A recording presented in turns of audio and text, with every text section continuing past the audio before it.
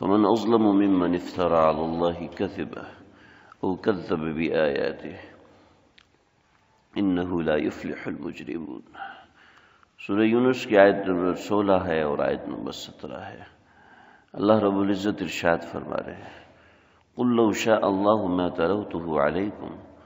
اب ان سے کہہ دیجیے کہ اگر اللہ چاہتا تو ما تلوته علیکم، تمہارے اوپر یہ تلاوت نہ ہوتی۔ تمہارے اوپر یہ آیات نہ سنواتا۔ ولا ادراکم بھی اور تم کو اس کا پتہ بھی نہ چلتا۔ فقط لبثت فیکم عمرہ اور اس سے پہلے میں نے تمہارے اندر ایک عمر گزاری ہے۔ من قبل ہی اس سے پہلے۔ افلا تعقلون؟ تمہیں عقل نہیں ہے، سمجھتے نہیں ہو۔ فمن اظلم ممن افترى اللہ کذبا ابھی عرض کرتا ہوں۔ نبی کریم صلی اللہ علیہ وسلم کو اللہ رب العزت نے فرمایا کہ یہ آپ سے کہتے ہیں کہ آپ نے قرآن اپنی طرف سے گھڑ لیا، اپنی طرف سے بنا لیا۔ ہمارے سامنے میری عمر گزری ہے۔ اس ساری عمر میں میں نے ایک بات بھی جھوٹ نہیں بولی۔ چالیس سال کا عرصے میں اس قدر سچائی پر ان کو یقین ہو گیا تھا کہ کہ آپ صلی اللہ علیہ وسلم کے جو لقب تھے، وہ لقب صادق اور امین کے تھے۔ اتنی اتنا یقین ان کا پختہ ہو چکا تھا آقا صلی اللہ علیہ وسلم کے اوپر۔ اتنی سی بات میں کلرز کر چکا۔ اس سے آگے بات یہ ہے کہ لوگوں کے ساتھ جھوٹ بولنا بہت بڑا گناہ ہے۔ بہت بڑی برائی ہے لوگوں کے ساتھ جھوٹ بولنا۔ لیکن کائنات کی جو سب سے بڑا جھوٹ ہے، جو سب سے بڑا ظلم ہے، اور سب سے بڑا جھوٹ ہے وہ یہ ہے کہ اللہ پر جھوٹ بولنا، کہ کوئی ایسا معاملہ ہو جس کے بارے میں کہا جائے کہ یہ ہوا ہے اور اس کے بارے میں کہا جائے کہ اللہ نے یہ فرمایا اور اس کے بعد دوسرا بڑا جرم یہ ہے کہ اللہ کے نبی نے یہ فرمایا یہ بات سمجھ لیں کہ سب سے بڑا جھوٹ اور سب سے بڑا ظلم اور سب سے بڑا جرم یہ کہلائے گا قول کے اعتبار سے، کہنے کے اعتبار سے کہ ایک بات اللہ نے نہیں کہی اس کی نسبت اللہ کی طرف کر رہا ہے۔ ایک بات رسول اللہ صلی اللہ علیہ وسلم نے نہیں کہی، اس کی نسبت رسول اللہ صلی اللہ علیہ وسلم کی طرف کر رہا ہے۔ ہمارے زمانے میں اس میں بہت بے احتیاطی بے احتیاطی پائی جاتی ہے، خاص طور پہ جب یہ دور سوشل میڈیا کا آیا ہے۔ اس وقت سے اس میں بہت زیادہ بے احتیاطی ہے کہ بہت اچھی بات ہوتی ہے۔ لیکن اس کی نسبت اللہ کی طرف کی جاتی ہے، حالانکہ اللہ نے نہیں فرمایا۔ جیسے ایک صاحب ایک صاحب ہمارے بڑی عمر کے، وہ بڑے غصے کے اور بڑے مضبوط ارادوں کے مالک ایک دفعے مسجد میں کہنے لگے، اے میاں، تم لوگ داڑھی نہیں رکھتے، تمہیں نہیں پتا داڑھی کو اللہ نے قرآن میں فرمایا۔ داڑھی کا حکم اللہ نے قرآن میں دیا ہے۔ نہیں رکھو گے تو پکڑے جاؤ گے، بڑی خطرناک کام کر رہے ہو۔ توبہ کرو، داڑھی رکھو۔ اچھی بات کر رہے ہیں، لیکن یہ اچھی بات قرآن میں نہیں ہے۔ اللہ نے نہیں فرمائی۔ لہذا یہ کائنات کا سب سے بڑا جھوٹ بول رہا ہے کہ اللہ نے قرآن میں داڑھی کا حکم دیا۔ داڑھی کا حکم اللہ نے قرآن میں نہیں دیا۔ اسی طریقے سے آج کل بغیر تحقیق کے حدیثیں آگے بھیج دی جاتی ہیں۔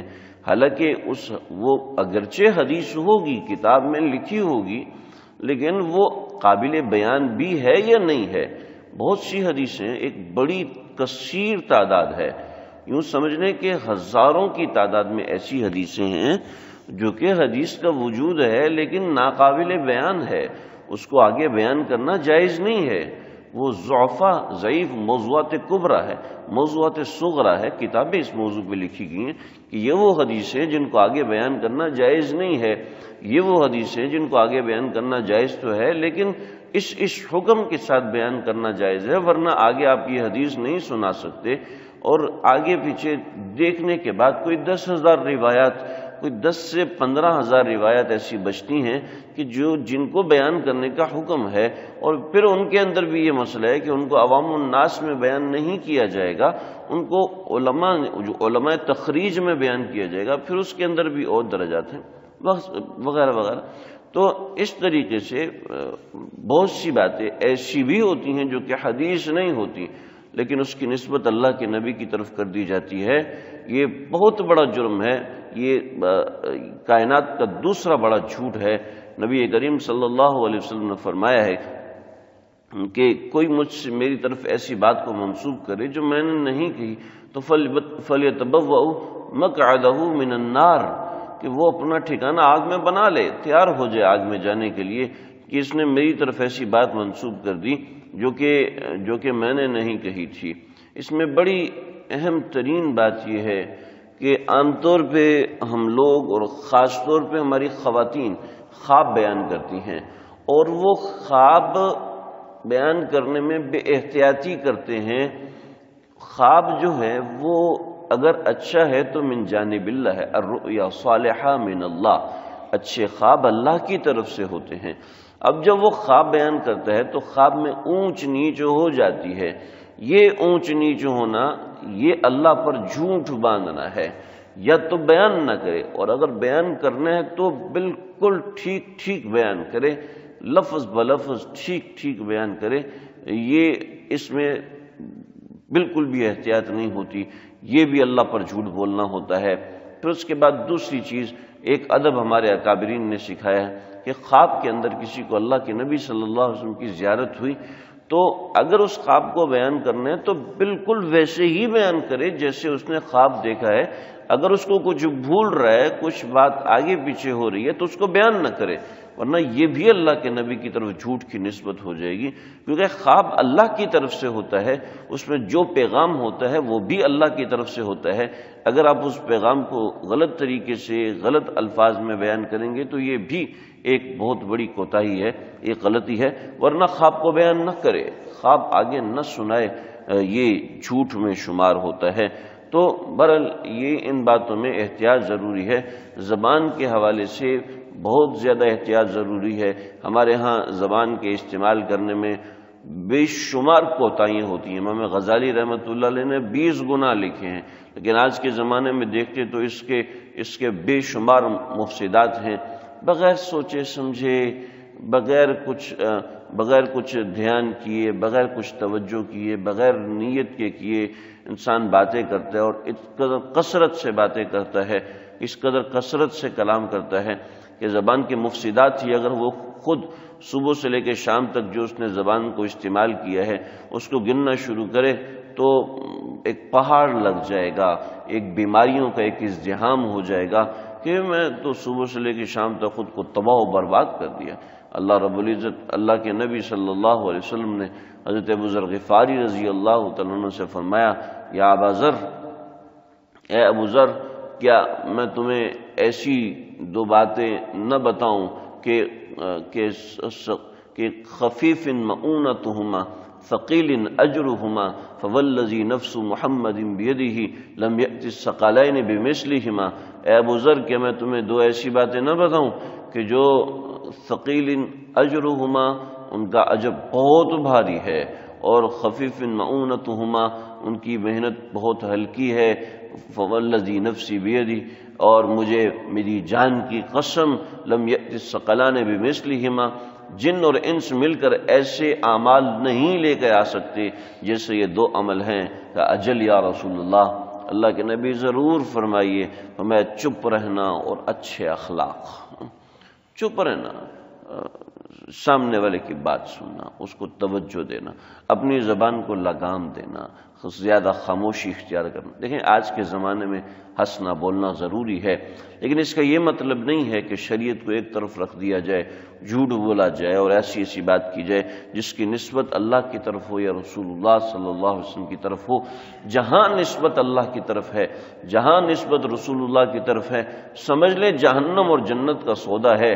بہت زیادہ احتیاط ضروری ہے، بہت زیادہ احتیاط ضروری ہے۔ تو یہ یہ بات تو دیکھیں، یہ اتنی بڑی بات ہے، جو شخص لوگوں کی آپس کی باتوں میں جھوٹ نہیں بولتا، وہ اللہ پہ کیسے جھوٹ باندھے گا؟ یہ یہاں پہ بتلانا مطلوب ہے کہ فقط لبث فیکم عمرہ، میں نے تمہارے اندر ایک چالیس سال کا عرصہ گزارا ہے، ایک بڑی عمر گزاری ہے۔ افلا تعقلون، تمہیں عقل نہیں ہے، میں نے تمہارے ساتھ کبھی جھوٹ نہیں بولا۔ تو کیا میں اللہ کے ساتھ جھوٹ بولوں گا جو تم کہہ رہے ہو کہ میں اپنی مرضی سے ان ابدل من تلقاء نفسی، کہ میں اس کو تبدیل کر دوں اپنی نفس کی مرضی سے؟ تو جس بندے نے زندگی بھر ایک شعر نہیں کہا، جس وہ ایسا شاعرانہ کلام بنائے گا، جس بندے نے زندگی بھر ایک جھوٹ نہیں کہا، وہ اللہ پہ اتنا بڑا جھوٹ باندھے گا، جس نے زندگی بھر کسی انسان کی جان پہ جھوٹ نہیں بولا، وہ انسان کے ایمان کے اوپر کیسے جھوٹ بولے گا؟ یہ تو سمجھو، افلا تعقلون، تمہیں عقل نہیں ہے کہ وہ اچانک سے ایسے کر کیسے کرنا شروع کر دے گا؟ ایسا ہونا محال ہے۔ فمن ازلم ممن افطرا اللہ کذبا اور وہ تو بہت بڑا ظالم ہوتا ہے۔ کہ فمن ازلم اس سے بڑا ظالم کون ہوگا؟ ممن افطرا اللہ کذبا کہ جو اللہ پہ جھوٹ باندھے، حالانکہ اس نے تو آج تک مخلوق پہ جھوٹ نہیں باندھا، خالق پر جھوٹ باندھنا تو بہت بڑی بات ہے۔ او کذب بھی آیا تھی یہ اس کی نشانیوں کو جھٹلائے، نہیں، ایسا نہیں ہو سکتا۔ انہو لا یفلح المجرمون، وہ مجرموں کو کامیاب نہیں کرتا۔ اور تم دیکھ رہے ہو کہ لوگ میری طرف کیسے جوک در جوک آ رہے ہیں۔ مجرمین یہ چاہتے تھے کہ کوئی بندہ کلمہ اللہ کے نبی کا کلام سنے ہی نہیں، چاہے کیسے بھی ہے، وہ حج کے ایام میں مختلف راستوں میں کھڑے ہو جاتے تھے اور کہتے تھے اپنے کانوں کے اندر وقر ڈال لو، اپنے کانوں میں ڈاٹ ڈال لو، کوئی رکاوٹ ڈال لو کہ تمہیں براہ راست محمد صلی اللہ علیہ وسلم کی آواز سنائی نہ دے۔ لیکن تم اتنا ڈر رہے ہو اور اتنی مقبولیت ہے، تو ان نہ المجرمین۔ مجرموں کو تو کوئی کامیابی نہیں ہوتی۔ اب تم دیکھ رہے ہو کہ مجھے کامیابی ہو رہی ہے۔ اس کا مطلب ہے کہ کوئی نہ کوئی معاملہ ہے اور اس کے ساتھ تمہارا، اس کے ساتھ تمہارا ظلم یہ ہوتا ہے کہ تم نمبر ایک تو مجھے الزام دے رہے ہو کہ میں اللہ پہ جھوٹ بھروں۔ سب سے بڑے ملزم تو تم خود ہو کہ تم اللہ پر اللہ پر جھوٹ باندھ رہے ہو کہ اللہ نے مجھ پر کوئی کلام نازل نہیں کیا۔ سب سے بڑی بات یہ، پھر دوسری بات، وَيَعْبُدُونَ مِن دُونِ اللَّهِ۔ تم اللہ کے علاوہ کسی دوسرے کو پکارتے ہو۔ کس کو پکارتے مالا یا ضرور ولا ينفعهم، کہ وہ ان کو کوئی نفع نہیں دیتا، ان کو کوئی نقصان نہیں پہنچاتا۔ وہ اور وہ کہتے ہیں ہا الا شفاعنا عند اللہ یہ اللہ کے نزدیک ہمارے سفارشی ہیں۔ کل اتنبئون اللہ اب ان سے کہہ دیجیے، کیا تم اللہ کو ایسی بات بتاتے ہو کہ بما لا يعلم في السماوات ولا في الارض کہ جس کو وہ آسمان اور زمین میں نہیں جانتا؟ یعنی کہ جو آسمان اور زمین میں ہے ہی نہیں تم اس کی نسبت، اس کو، اس کے بارے میں اللہ کو بتا رہے ہو۔